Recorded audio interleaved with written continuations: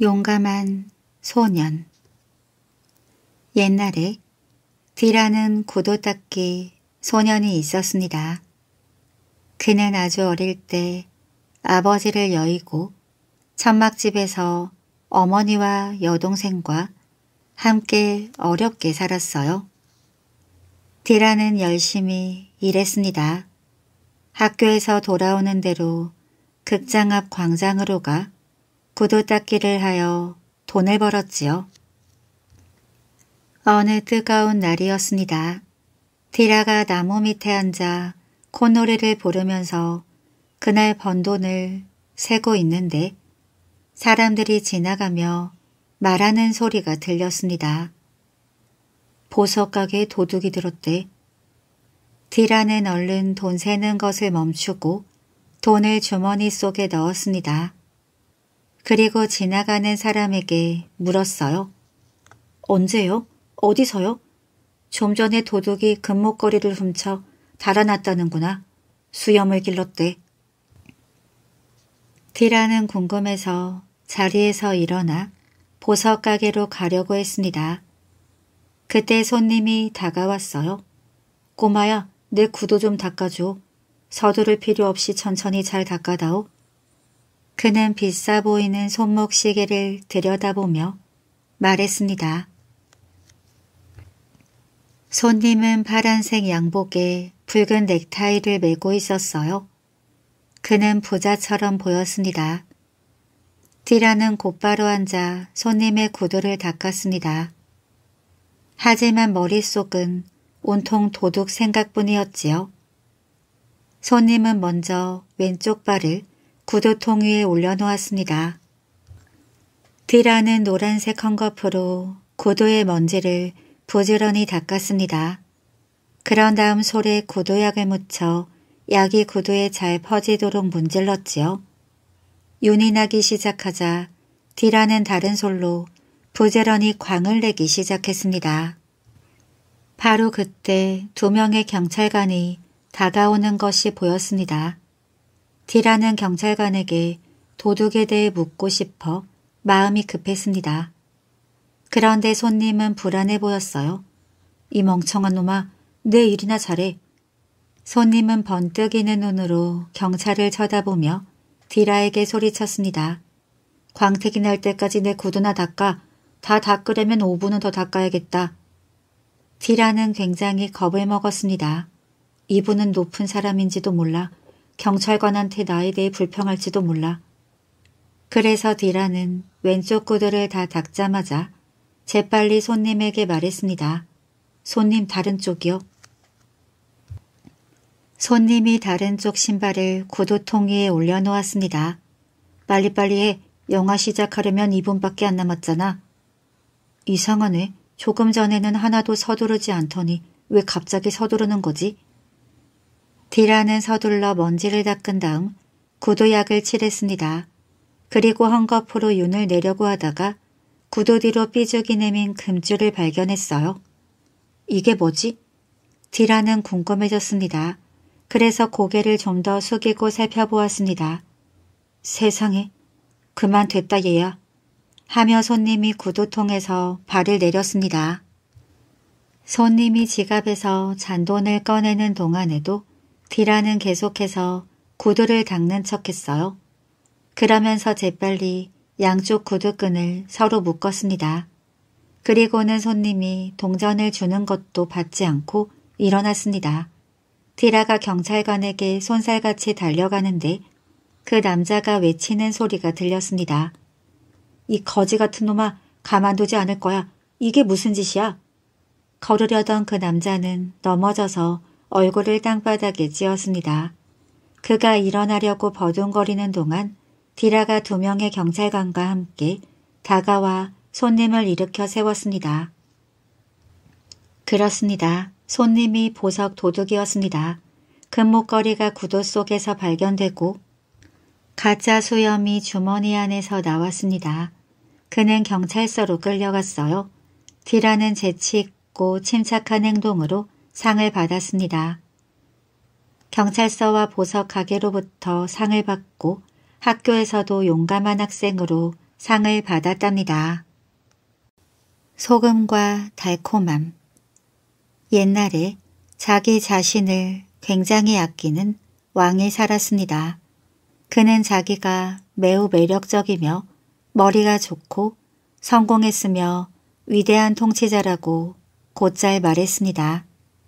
또한 주위 사람들도 자신의 위대함을 인정해 주기를 바랬습니다. 왕은 오직 자기를 칭찬하고 아첨하는 사람들만 좋아했습니다. 그리고 자기가 좋아하는 사람하고만 지냈지요. 왕에게는 세 딸이 있었습니다. 어느 날 그는 딸들의 충성과 사랑을 시험해보고 싶었습니다. 그래서 왕은 딸들을 불렀습니다. 나의 사랑하는 딸들아, 사람들이 말하기를 내가 이 세상에서 가장 위대한 왕이라고 하더구나. 그들은 나를 사랑하고 존경하며 그리고 나를 위해 죽을 준비가 되어 있다고 한단다. 뿐만 아니라 나를 만날 때마다 나를 찬양하는 노래를 부르는구나.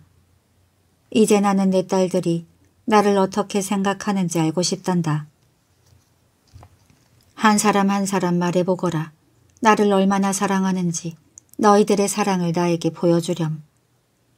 그는 큰딸을 바라보았습니다. 아버님, 아버님을 매우 사랑합니다. 저의 사랑은 하늘만큼 높고 황금만큼 순수합니다. 하고 큰딸이 대답했어요. 왕은 기뻤습니다. 다음으로 그는 둘째 딸에게 얼굴을 돌렸습니다. 아주 많이 사랑합니다. 아버님 저의 사랑을 바다만큼 깊고 또한 귀한 보석과 같습니다. 하고 둘째 딸이 대답했습니다. 왕은 흐뭇하게 웃었습니다. 이윽고 막내딸을 쳐다보았어요. 너는 어떠냐? 나를 얼마나 사랑하느냐? 셋째 딸은 부끄러워했습니다. 그녀는 아버지의 물음에 대답하지 못했어요. 왕은 언니들보다 더 좋은 말을 해보라고 달랬습니다. 아버님, 막내딸이 마침내 입을 열었습니다. 아버님에 대한 저의 사랑은 모든 딸들이 자신의 아버지를 사랑하는 것과 똑같습니다. 하지만 너는 나를 얼마나 사랑하느냐? 너의 사랑은 어떤 것이냐? 왕이 다그치듯 물었어요. 셋째 공주는 잠시 생각하더니 마침내 입을 열었습니다. 제가 말할 수 있는 것은 제가 소금을 사랑하는 만큼 아버님을 사랑한다는 것입니다. 뭐라고? 왕은 불같이 화를 냈습니다. 너는 나를 단지 소금만큼 사랑한단 말이냐? 그렇습니다, 아버님. 그녀가 대답했습니다. 어떻게 감히 너의 사랑이 겨우 그까지 소금과 같다고 말할 수 있느냐?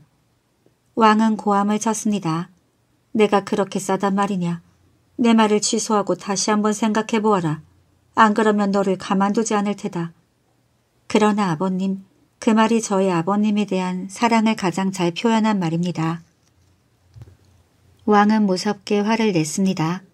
너는 나에게 이렇게 큰 상처를 준 대가로 고통을 받게 될 것이다. 그날부터 왕은 막내딸에게 조금도 신경을 쓰지 않았을 뿐만 아니라 눈길 한 번 주지 않았습니다. 세월이 흘러 딸들이 시집을 갈 나이가 되었어요. 왕은 그의 두 딸을 이웃나라의 왕들에게 많은 지참금을 주고 시집을 보냈습니다. 막내딸만 남게 되었어요. 어느 날 왕비님이 언니들처럼 막내딸의 결혼도 준비해달라고 왕에게 말했습니다. 그 바보 같은 아이에게 결혼을 왕이 말했습니다. 좋아 두고 보시오. 내가 누구를 그의 짝으로 정해주는지. 왕은 거리를 내다보았습니다. 거지가 맨 처음으로 눈에 띄었어요. 왕은 그 거지를 궁전으로 불러들였습니다. 너는 누구냐? 너는 거리에서 무엇을 하고 있었느냐? 왕이 물었습니다. 음식을 구걸하고 있었습니다. 오랫동안 할 일이 없었습니다. 영문도 모른 채 궁전으로 붙들려온 거지가 모기 소리만 하게 대답했습니다. 그러니까 거지로구나. 아주 좋아. 나는 너를 공주와 결혼시키겠다. 그러면 둘 다 거지가 되겠지. 왕이 빙글빙글 웃으며 말했습니다. 왕은 막내딸을 그 거지와 결혼시킨 뒤 멀리 떠나 보냈습니다. 공주는 한마디 불평도 없이 왕이 내린 벌을 받아들였어요. 그녀는 자신에게 일어난 일이 슬프지 않았습니다. 그녀는 이제 공주가 아니었습니다. 이제 그녀에게는 재물도 없고 지위도 없었지요. 그녀에게는 오로지 거제 남편이 있을 뿐이었습니다. 하지만 공주는 용감한 처녀였습니다. 그녀는 어떤 어려움과 고난도 당당하게 맞이할 준비가 되어 있었습니다. 먼저 그녀는 자신의 남편이 어떤 사람인지 알고 싶었습니다. 그는 그녀에게 자신이 진짜 거지가 아니라고 말했습니다. 그는 이곳이 처음이었고 일거리를 찾고 있던 중이었지요. 그가 일거리를 찾지 못하여 먹을 것을 구걸하고 있던 중에 영문도 모른 채 왕에게 잡혀 들어왔던 것입니다. 그 젊은이는 의욕으로 가득 찼습니다. 이제 용감하고 영리한 처녀를 아내로 맞이하였기 때문에 그는 보다 나은 내일을 위해서 어떠한 어려움도 이겨낼 마음의 준비가 되어 있었습니다. 젊은이와 공주는 도시에서 멀리 떨어진 곳으로 가서 조그만 오두막집에서 살았습니다. 공주는 약간의 장신구를 걸치고 있었는데 그것을 모두 팔아 새로운 삶을 시작했어요. 그들은 작은 땅을 빌려 농사를 짓기 시작했습니다. 그리고 그 땅에서 풍성한 수확을 거두었습니다. 그들은 땅을 더 늘렸고 더 많은 수확을 얻었습니다. 그들은 매우 열심히 일을 해서 더 많은 농사를 지었습니다. 몇 년 안에 그들은 그 땅의 주인이 되었습니다. 그들은 차츰 부자가 되었어요. 몇 년 후에 그들은 좋은 집을 갖게 되었습니다. 하지만 아직 그들은 만족하지 않았습니다. 그들은 계속해서 열심히 일했지요. 몇 년 후 그들은 궁궐 같은 집과 끝없이 넓은 땅의 주인이 되었습니다. 그들은 크고 아름다운 집을 짓고 그곳에서 왕 같은 생활을 하였어요. 그러자 그들 부부는 그 지역에서 높은 위치를 차지하게 되었습니다. 그들은 자신의 집으로 그 도시의 중요한 사람들을 초대하여 파티를 열고는 하였습니다. 어느 날 그들은 공주의 아버지인 왕을 저녁 식사에 초대했습니다. 왕은 기꺼이 초대를 받아들였지요. 그는 자신의 딸이 초대한 만찬에 가게 되었다는 사실을 몰랐습니다. 그 만찬은 더없이 화려한 저녁 식사였습니다. 왕과 다른 손님들은 모든 준비에 감동을 받았지요. 집주인이 손님들 사이를 돌아다니며 인사를 했습니다. 베일을 가린 공주가 그녀의 아버지 앞에 와서 몸을 낮추며 저녁 식사를 위해 자리에 앉기를 권했습니다. 왕은 저녁 식사를 위해 자리에 앉았습니다. 그의 앞에는 황금 그릇에 여러 종류의 수많은 음식이 담겨 있었습니다. 왕은 배가 고파 그릇에서 음식을 떠 입안 가득 넣었습니다. 그런데 음식이 너무 싱거워서 깜짝 놀랐지요. 왕은 다른 그릇의 음식도 먹어보았습니다. 그 음식 역시 싱거웠어요. 소금이 거의 들어있지 않았습니다. 그는 거의 모든 음식을 먹어보았지만 음식마다 소금이 들어있지 않았습니다. 왕은 화가 났습니다. 그는 주위를 둘러보았어요. 그러나 다른 사람들은 모두 맛있게 음식을 먹고 있었습니다. 그때 베일을 가린 안주인이 왕에게 다가왔습니다. 존경하는 왕이시여, 저희 음식이 마음에 들지 않으십니까? 그녀가 공손하게 물었습니다.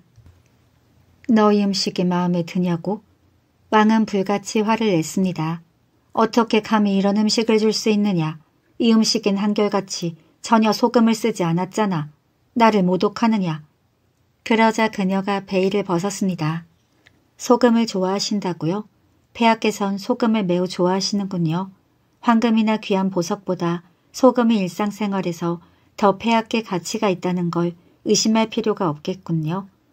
왕은 안주인을 쳐다보았습니다. 왕은 그녀가 누구인지 알아차리고 한순간 당황했습니다. 그렇습니다. 다름 아닌 왕의 셋째 딸이 눈앞에 서 있었습니다. 왕은 아무 대답도 할 수 없었습니다. 이때야 비로소 그는 평범하고 싼 소금이 사람에게는 황금이나 귀한 보석보다 더 귀하다는 것을 깨달았습니다. 오, 내 딸아. 왕은 공주를 얼싸 안았습니다. 나의 어리석음을 용서해다오. 왕은 막내딸을 그렇게 취급했던 것이 참으로 부끄러웠습니다. 이제 그는 자신의 실수를 보상하고 싶었습니다. 왕은 막내딸 부부에게 자신의 왕국을 넘겨주었답니다. 그들은 행복하게 오래오래 살았습니다. 거짓말 즐기던 부자 어느 마을에 황시성을 가진 큰 부자가 살고 있었습니다. 재산이 많은 황부자는 할 일이 없어 심심할 때가 많았습니다. 뭐 재미있는 일 없을까? 그래, 거짓말이 재미있을 거야. 이렇게 생각한 황부자는 집 대문에 벽보를 붙였습니다. 벽보를 본 사람들이 황부자 집으로 몰려들었습니다. 벽보에는 나에게 거짓말을 세 번 하는 사람에게 내 재산의 절반을 주겠다 라고 써 있었어요. 모두들 거짓말에는 둘째가라면 서러운 사람들이었습니다. 거짓말쟁이들은 차례대로 황부자 앞에서 거짓말을 늘어놓았습니다. 하지만 거짓말에 성공하는 사람은 아무도 없었습니다. 아무리 믿기지 않는 거짓말을 해도 황 부자가 고개를 끄덕이며 이렇게 말했기 때문입니다. 제법 그럴듯하군. 내 말이 옳다. 아휴, 거짓말하기가 이렇게 힘들 줄이야. 거짓말쟁이들은 툴툴거리며 물러났습니다. 황 부자는 계속 거짓말을 들었지만 귀에 쏙 들어오는 거짓말이 없었어요. 깊은 산 속에서 숯을 구워 파는 가난한 숯장수가 이 소문을 듣고 황부자 집을 찾아왔습니다. 황부자는 대청마루에 앉아 이야기를 듣고 하인들은 옆에서 열심히 부채질을 하고 있었습니다. 숫장수 차례가 되자 황보자가 말했어요. 보아하니 내 거짓말도 시답찮겠구나. 일단 들어보십시오. 저는 거짓말 같은 진짜 이야기를 들려드리겠습니다. 진짜 이야기라면 거짓말이 아니지 않느냐. 일단 들어보시라니까요. 거짓말보다 재미있을 겁니다. 그럼 어서 말해보아라. 숫장수는 첫 번째 이야기 보따리를 풀었습니다. 우리 산골 사람들은 날마다 하루 세 끼를 참새고기만 먹습니다. 그 많은 참새고기를 어디서 구하느냐. 날마다 참새를 세 가마씩 잡습니다. 그렇게 많이 잡는다고 대체 어떻게 잡느냐. 어렵지 않습니다. 눈이 내리는 날 안방문에 주먹만한 구멍을 뚫어 놓습니다. 방에 앉아서 손바닥에 노란 좁쌀을 펼쳐놓고 문구멍으로 내밀면 참새들이 좁쌀을 먹으려고 날아와 앉지요. 그때 재빨리 주먹을 움켜쥐며 한 마리씩 잡으면 됩니다. 황 부자는 흥미로운지 고개를 끄덕였습니다. 참새들이 자꾸 날아들어 금세 한 자루 두 자루 세 자루가 되지요. 황보자는 웃을 듯 말듯 하다가 얼굴을 찌푸렸습니다. 예끼 그건 순 거짓말이야. 소장소는 거짓말 한 번을 성공했습니다.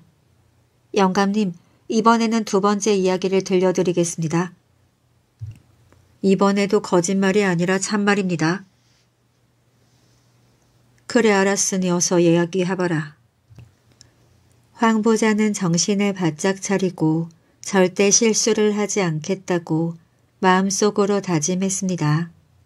숫장소는 두 번째 이야기 보따리를 풀었어요. 우리 마을에서는 벼농사를 아주 쉽게 짓습니다. 어떻게 쉽게 짓느냐. 봄이 되면 버드나무 가지를 베어 발을 엮습니다. 발을 엮어서 무엇에 쓰려고. 발을 논에 넓게 펼칩니다. 그리고 그 위에 벽실을 뿌리면 발 사이사이로 모내기를 한 것처럼 줄을 지어 모가 자라게 되지요. 황보자는 흥미로운 이야기에 귀를 기울였습니다.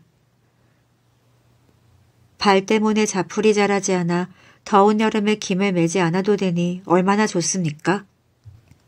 그럼 여름에는 뭘 하고 지내느냐? 냇물에서 물고기를 잡으며 물놀이를 하지요. 가을에 벼가 다 익으면 발 내 귀퉁이를 들어 올립니다. 그러면 발 사이로 벼가 저절로 훑어지며 수복이 쌓이게 되지요. 그러면 추수가 끝납니다. 원 세상에 논마다 펼쳐놓을 그 큰 발을 무슨 수로 만든단 말이냐? 기가 막히다는 듯 헛웃음을 짓던 황 보자는 갑자기 웃음을 뚝 그치며 호통을 쳤습니다. 예끼 그런 거짓말이 어디 있느냐? 황보자는 자기도 모르게 두 번의 거짓말을 인정하고 말았어요. 소장수는 황보자가 한 번만 더 거짓말을 인정하면 큰 부자가 될 수 있었습니다. 황보자는 다시는 거짓말임을 인정하지 않겠다며 마음을 다잡았어요. 영감님, 이제 세 번째 이야기를 해드리겠습니다. 영감님도 아는 진짜 이야기입니다. 소장수는 허리춤에서 손수건을 한 장 꺼냈습니다. 영감님, 이 수건에 적힌 사연이 세 번째 진짜 이야기입니다. 잘 살펴보십시오. 숫장수는 손수건을 황부자에게 내밀었습니다. 이게 웬 수건이냐. 거기에 돌아가신 제 아버지가 남긴 유서가 적혀 있습니다. 펴서 읽어보세요. 황부자는 궁금한 표정으로 손수건을 펼쳤습니다. 아들아, 내가 황부자에게 500만 양을 빌려주었으니 꼭 받도록 해라. 황보자는 눈이 왕방울처럼 커졌습니다. 이런 흉악한 거짓말이 있나. 황보자는 거짓말인 줄 뻔히 알면서도 아무 말도 하지 못했습니다. 영감님, 그 유서가 사실이지요. 그러니 빌린 돈을 빨리 갚아주십시오. 빌린 돈을 갚으라고. 황보자는 화가 나서 몸을 부르르 떨었습니다. 사실이 아니면 거짓말이란 말씀인가요? 그럼 영감님에게 세 번 거짓말을 했으니 약속대로 재산의 절반을 제게 주십시오. 황 부자는 뭐라고 말도 못하고 얼굴만 불그락 푸르락 했습니다. 아이고 저 숫장수한테 당했구나. 내 재산이 500만 양이 안 되니 차라리 재산의 절반을 주는 게 낫겠다. 황부자는 황급히 큰 소리로 외쳤습니다. 예끼 사람아 그건 순 거짓말이야. 이렇게 해서 심심풀이로 거짓말을 즐기던 황보자는 재산의 절반을 날리고 말았고 가난한 숫장수는 큰 보자가 되었답니다. 우물한 개구리 바닷가 가까이에 우물이 하나 있었습니다. 그 우물 안에 커다랗고 까만 개구리가 살고 있었습니다. 까만 개구리는 그곳에서 태어났고 단 하루도 우물 밖으로 나가본 적이 없었습니다. 그래서 바깥 세상에 대해서는 아무것도 몰랐습니다. 하지만 까만 개구리는 자기 자신을 세상에서 가장 똑똑한 개구리라고 생각했습니다. 까만 개구리는 우물에 사는 벌레들을 잡아먹거나 가끔 우물 속으로 떨어지는 곤충을 잡아먹으며 살았습니다. 어느 날 까만 개구리가 한창 낮잠을 즐기고 있는데 첨벙하고 바다에서 개구리 한 마리가 떨어졌습니다. 까만 개구리는 커다란 곤충이 떨어진 줄 알고 얼른 달려들어 잡아먹으려고 했습니다. 그러나 눈을 똑바로 뜨고 다시 보았을 때 까만 개구리는 깜짝 놀랐습니다. 세상에 맙소사. 우물 안의 개구리는 혼자 중얼거렸습니다. 개구리같이 생기기는 했는데 나처럼 까맣지가 않잖아. 우물 안의 개구리는 무서워하는 것처럼 보이고 쉽지 않았습니다. 그래서 짐짓 근엄한 목소리로 물었지요. 안녕하십니까? 당신은 누구요? 나는 손님이야. 바다에서 온 개구리가 말했습니다. 그건 나도 잘 알고 있어. 당신이 어디 이상한 곳에서 왔다는 걸.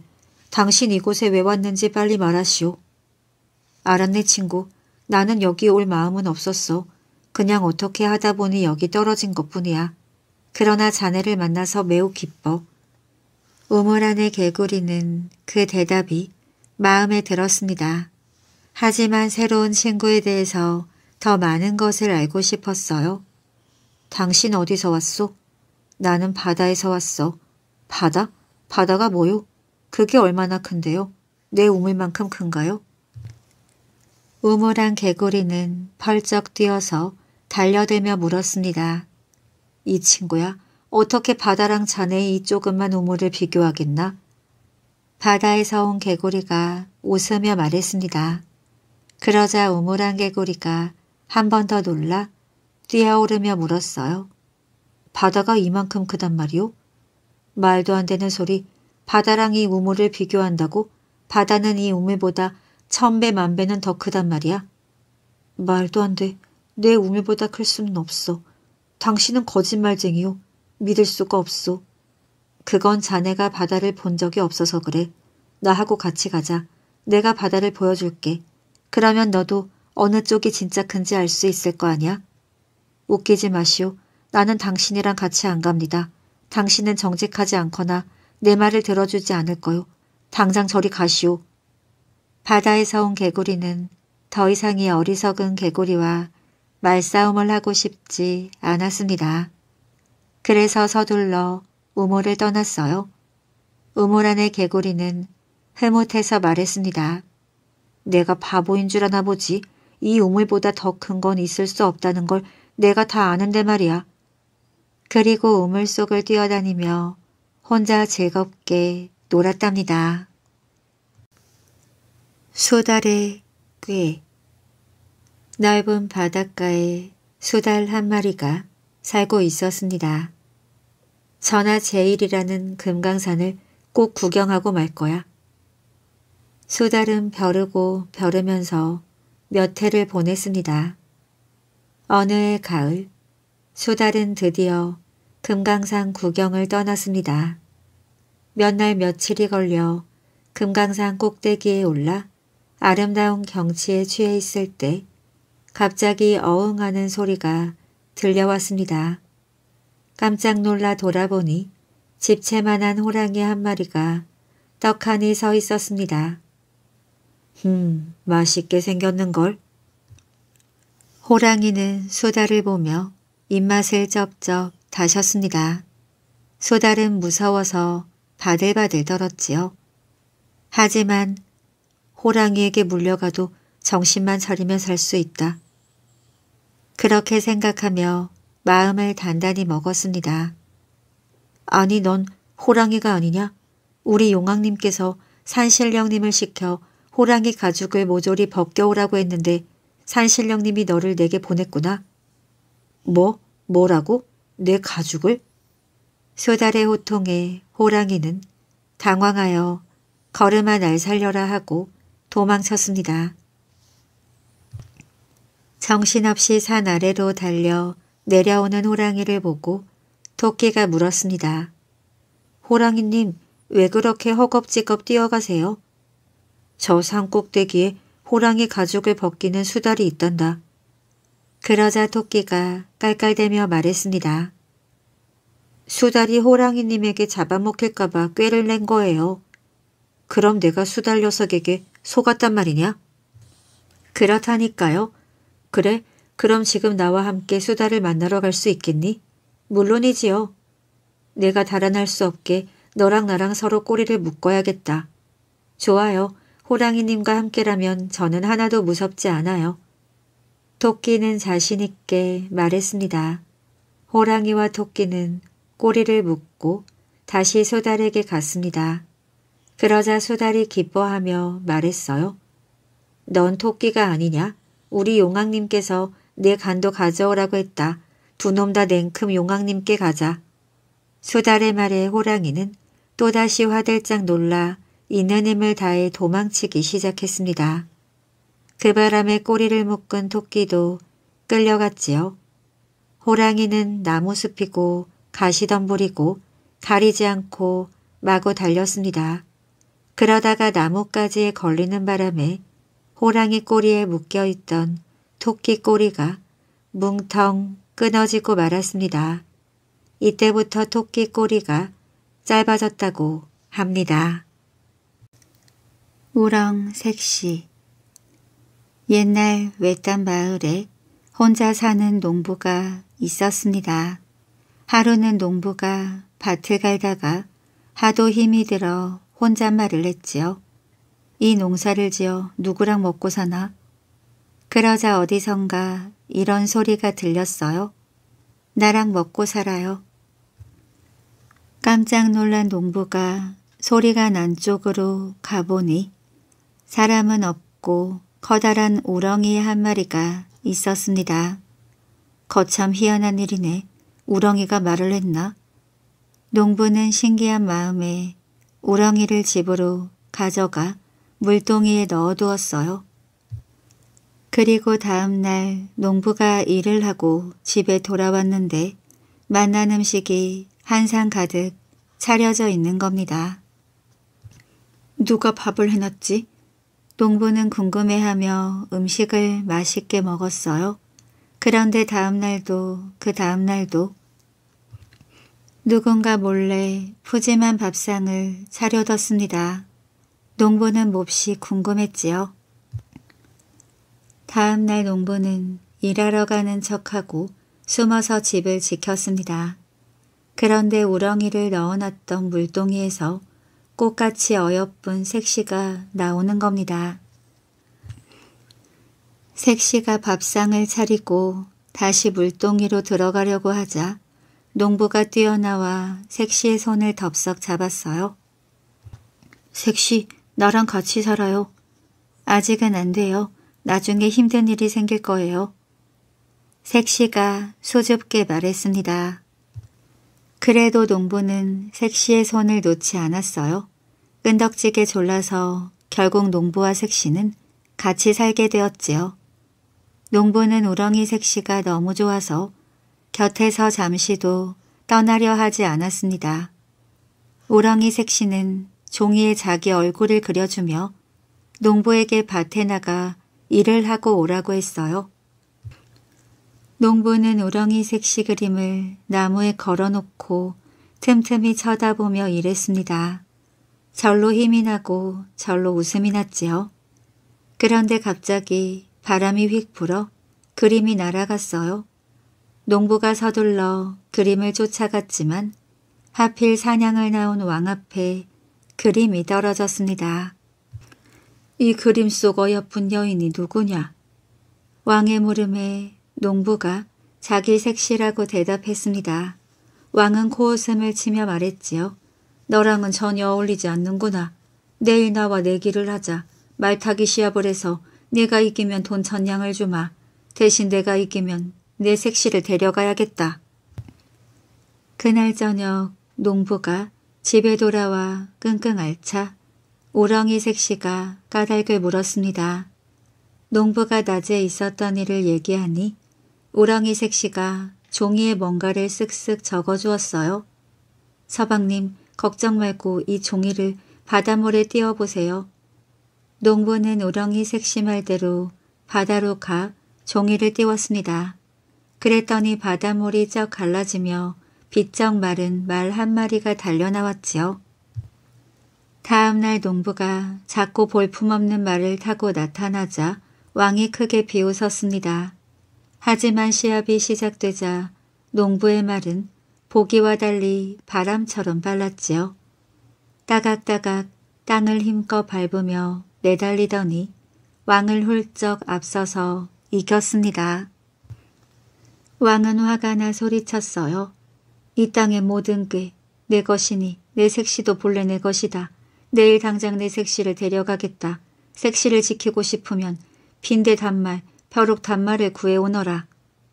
농부가 집에 돌아와 걱정하니 우렁이 색시가 말했습니다. 서방님 걱정 말고 시장에 가 기장 단말, 메밀 단말을 사서 왕에게 바치세요. 다음 날 농부는 기장 단말, 메밀 단말을 사서 왕에게 가져갔어요. 왕이 농부가 가져온 자루를 풀자 자루 속에서 빈대와 벼룩들이 새까맣게 몰려나와 왕을 물어뜯기 시작했지요. 왕은 펄펄 뛰고 이리저리 구르고 난리를 떨었습니다. 왕은 화가 나 소리쳤어요. 너한테 마지막 기회를 주마. 내일까지 말하는 돌과 웃는 꽃을 구해오너라. 그러지 못하면 내 색시를 데려가겠다. 농부가 집에 와 이젠 정말 색시를 뺏기게 생겼다며 엉엉 우니 우렁이 색시가 조용히 나가 사람 머리만한 돌덩이와 노란 꽃을 구해왔습니다. 서방님, 걱정 말고 내일 왕에게 이걸 바치세요. 다음 날 농부가 돌과 꽃을 바치니 왕이 버럭 화를 냈습니다. 감히 내가 나를 놀리는 것이냐. 세상에 말하는 돌과 웃는 꽃이 어디 있단 말이냐. 그러자 갑자기 돌이 쿵쿵 뛰며 천둥같이 소리쳤습니다. 남의 색시를 탐내는 왕은 왕도 아니지. 돌이 왕을 마구 때리니 노란 꽃이 깔깔 웃었어요. 왕은 깜짝 놀라 꽁지 빠지게 도망쳤습니다. 그 뒤로 왕은 농부가 사는 마을에 얼씬도 하지 않았어요. 우렁이 색시와 농부는 아들, 딸 낳고 오손도손 행복하게 살았답니다. 눈으로 만든 아이 옛날 옛적에 할아버지와 할머니가 살았습니다. 할아버지와 할머니에게는 모든 것이 풍족했습니다. 암소도 있었고 암양도 있었고 난로 위에 앉아 놀고 있는 고양이도 있었어요. 하지만 할아버지와 할머니에게는 자식이 없었습니다. 할아버지와 할머니는 매우 슬펐어요. 하얀 겨울 하얀 눈이 무릎까지 내렸습니다. 동네 아이들이 거리로 쏟아져 나와 썰매도 타고 눈싸움도 했지요. 그리고 아이들은 눈을 굴려 눈사람도 만들었습니다. 할아버지는 창가에서 아이들을 보며 할머니에게 말했습니다. 여보, 동네 아이들을 바라보며 앉아 뭘 그리 생각하오. 나이가 무슨 상관이오. 우리도 밖으로 나가 실컷 놉시다. 눈으로 할멈 닮은 눈사람도 만들고 말이오. 그래요 영감. 밖으로 나가요.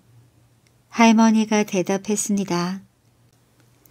당신에겐 내가 있는데 또 날 닮은 눈사람을 만들 필요는 없지 않아요? 차라리 눈으로 우리 딸을 만들어요. 할아버지와 할머니는 텃밭으로 나가 말한 대로 곧바로 눈으로 여자아이를 만들기 시작했어요. 할아버지와 할머니는 눈으로 여자아이를 다 만들었습니다. 눈 대신에 파란 곳을 두 개를 붙이고 볼에는 보조개 두 개를 만들고 진홍색 리본으로 작은 입을 만들었지요. 어디서 이렇게 예쁜 딸아이가 나타난 걸까? 할아버지와 할머니는 눈 소녀를 보고 또 보고 아무리 보아도 질리지 않았습니다. 눈을 뗄 수도 없었지요. 그때 눈 소녀의 작은 입이 미소를 지었고 머리카락이 곱슬곱슬 해지기 시작했습니다. 눈 소녀는 손과 발을 살짝 움직여 보았어요. 그리고 텃밭을 따라 집으로 갔습니다. 할아버지와 할머니는 너무 놀라 자리에서 꼼짝도 할 수 없었지요. 영감. 할머니는 기쁨에 넘쳐 소리쳤습니다. 우리 딸아이가 살아 움직여요. 사랑스러운 눈소녀가요. 눈소녀는 시간이 갈수록 몰라보게 자랐습니다. 그리고 눈소녀는 날이 갈수록 더욱더 아름다워졌지요. 할아버지와 할머니는 눈 소녀를 보고 또 보고 아무리 보아도 질리지 않았습니다. 말할 수 없이 사랑스러웠지요. 눈 소녀는 눈처럼 희고 두 눈은 호수처럼 파랬습니다. 금빛 닿은 머리는 허리까지 내려왔지요. 다만 눈 소녀의 얼굴에는 붉은 빛이 없었고 입술에는 핏기가 없었습니다. 하지만 눈소녀는 매우 아름다웠습니다. 겨울이 지나고 파릇파릇한 봄이 왔습니다. 새싹이 움트기 시작하고 들에는 벌들이 날아다니고 종달새들이 노래를 불렀지요. 모든 아이들이 기뻐했습니다. 여자아이들은 봄노래를 불렀어요. 하지만 눈소녀는 겨울을 그리워했습니다.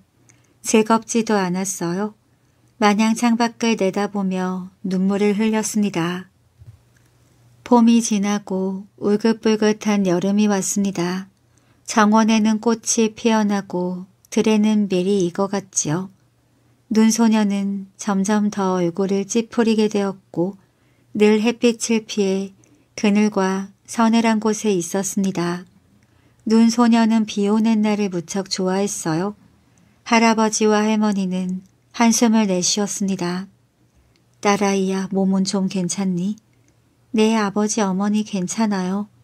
하지만 눈소녀는 늘 구석에 웅크리고 앉아 밖에 나가려 하지 않았습니다. 어느 날 여자아이들이 숲으로 산딸기, 블루베리, 땅딸기를 따라가려고 모였어요. 여자아이들은 눈소녀도 같이 데려가려고 했습니다. 눈소녀야 우리랑 같이 가자. 하지만 눈소녀는 숲으로 가고 싶지 않았습니다. 햇빛 아래에 있기는 더 싫었지요. 할아버지와 할머니는 눈소녀에게 말했어요. 다녀오렴. 친구들과 재미있게 놀다 오렴. 눈소녀는 광조리를 들고 친구들과 함께 숲으로 갔습니다. 친구들은 숲속을 돌아다니며 꽃으로 머리띠도 만들고 빙글빙글 돌며 노래도 불렀어요. 눈소녀는 차가운 개울 옆에 앉아 물끄러미 물을 바라보며 빠른 물살에 손가락도 적시고 진주 같은 물방울을 일으키기도 했습니다. 저녁 무렵까지 여자아이들은 정신없이 놀았어요. 꽃으로 머리띠도 만들어 쓰고 모닥불을 피워 그 위를 뛰어넘기도 했지요. 눈소녀는 멀리 앉아 두려운 눈빛으로 모닥불을 바라보았습니다. 여자아이들은 눈소녀를 졸졸 따라다니며 귀찮게 졸라댔어요. 친구들은 눈소녀도 모닥불 뛰어넘기 놀이를 하길 바랬거든요. 눈소녀는 벌벌 떨며 모닥불 곁으로 다가갔습니다. 얼굴에는 핏기가 없고 늘어뜨린 머리는 흐트러졌지요. 친구들이 소리쳤어요. 뛰어넘어 눈소녀야. 눈소녀가 달려와 폴짝 뛰었습니다. 그러자 모닥불 위에서 부글부글 소리가 나더니 신음을 내며 눈소녀가 사라져 버렸습니다. 그리고 모닥불 위에 하얀 수증기가 퍼지더니 둥그런 구름으로 변해버렸어요. 구름은 하늘 높이 날아갔습니다. 그렇게 눈 소녀도 사라져버리고 말았답니다. 늑대와 여우 옛날 옛적에 할아버지와 할머니가 함께 살고 있었습니다. 어느 날 할아버지가 할머니에게 말했어요. 할멈, 당신은 만두를 굽고 있어요. 나는 말이 끄는 썰매를 타고 낚시하러 다녀올게요. 할아버지는 커다란 썰매를 물고기로 가득 채웠습니다. 집으로 가는 길에 몸을 웅크리고 누워있는 여우 한 마리를 보았어요. 할아버지가 여우에게 다가갔지만 여우는 얼어 죽은 듯 꿈쩍도 하지 않았습니다. 그래 아주 멋진 놈을 찾았군. 우리 할멈 털옷에 달면 멋진 목도리가 되겠어. 할아버지는 여우를 썰매에 싣고 앞으로 걸어나갔어요. 그러다가 여우가 아주 좋은 기회를 잡았습니다. 여우는 일어나 물고기를 한 마리, 한 마리 썰매 밖으로 던졌습니다. 물고기를 모두 밖으로 내던진 여우는 조용히 썰매에서 도망쳤지요. 할아버지는 집으로 돌아와 할머니를 불렀어요. 할멈, 당신을 위해 털옷에 달 아주 귀한 목도리감을 가져왔소. 할머니는 썰매로 가보았습니다. 하지만 썰매에는 목도리감도 물고기도 없었습니다. 할머니는 할아버지에게 화를 내기 시작했어요. 할아버지는 그제야 여우가 죽지 않았었다는 것을 깨달았습니다. 할아버지는 너무나도 슬펐지만 어쩔 수가 없었지요. 한편 여우는 길거리에 던진 물고기들을 무더기로 쌓아놓고 그 옆에 앉아서 물고기를 맛있게 먹고 있었습니다.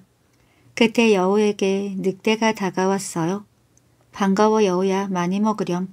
난 내 것을 먹을 테니 넌 저기 멀리 서 있어. 내게도 물고기를 좀 나눠줘. 내가 직접 잡아먹어. 하지만 난 잡을 줄 모른단 말이야.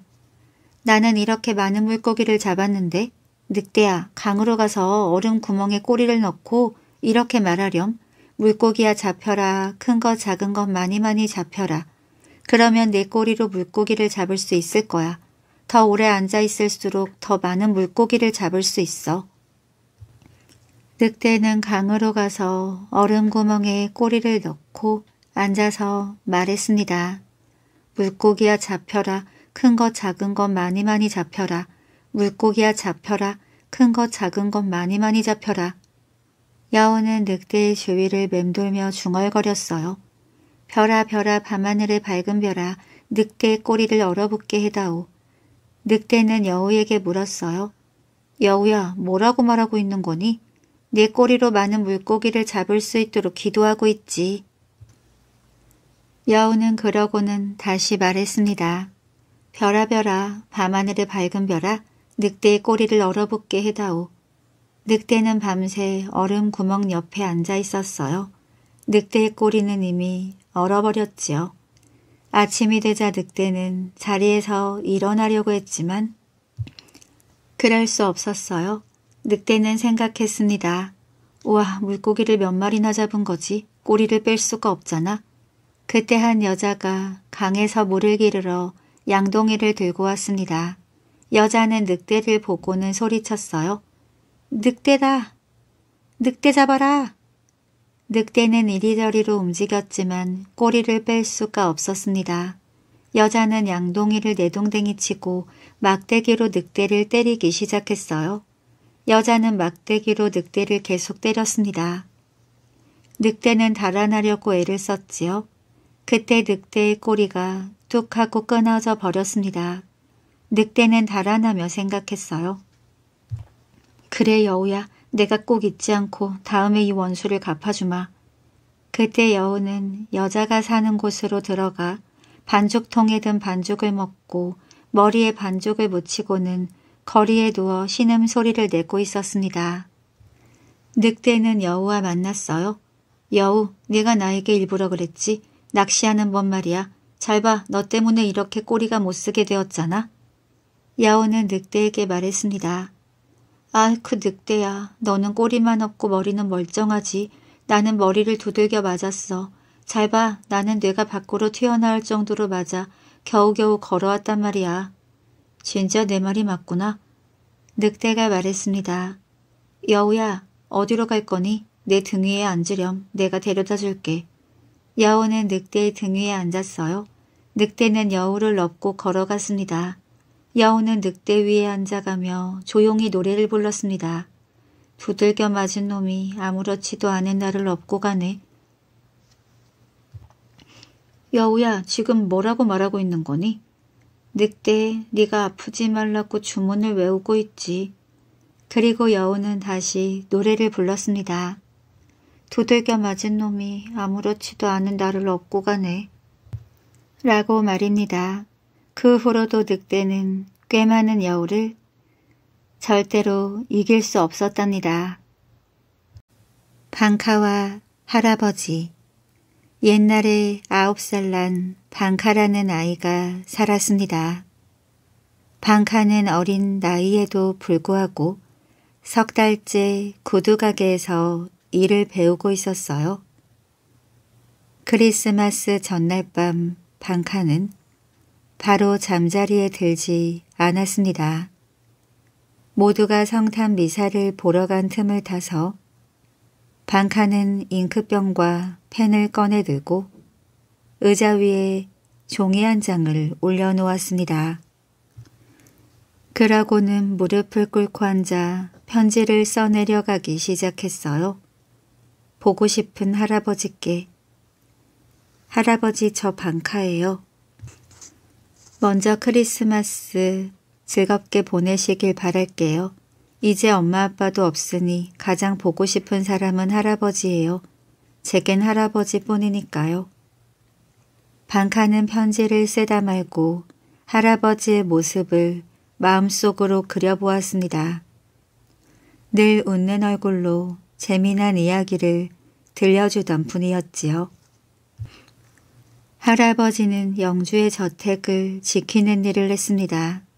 낮에는 잠을 자거나 부엌에서 다른 아이들과 농담을 주고받으며 시간을 때우다가 밤이 되면 두꺼운 옷으로 온몸을 감싸고 혹시라도 도둑이 침입할 경우에 대비해 개 두 마리를 데리고 저택 주변을 살피며 돌아다니는 일을 했지요.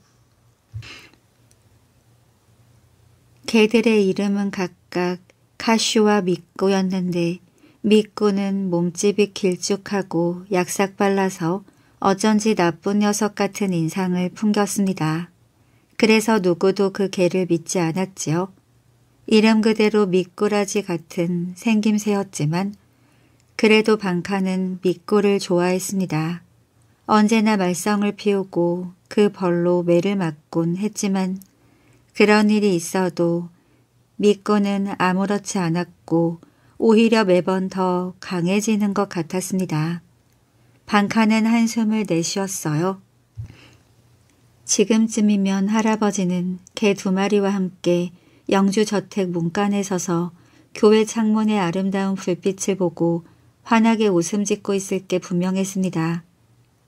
방카는 펜을 들고 다시 글을 써 내려가기 시작했습니다.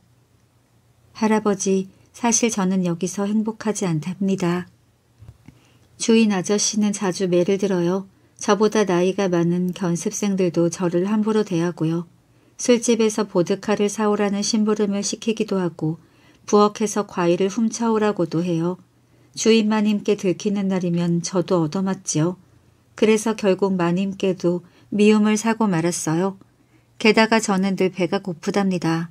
밤에는 따뜻한 차 한 잔 없이 빵 부스러기만 얻어먹어요. 잠자리도 보잘것 없고 늘 추위에 고통받고 있어요. 할아버지 제발 저를 데려가 주세요. 말도 잘 듣고 매일 할아버지를 위해서 기도할게요.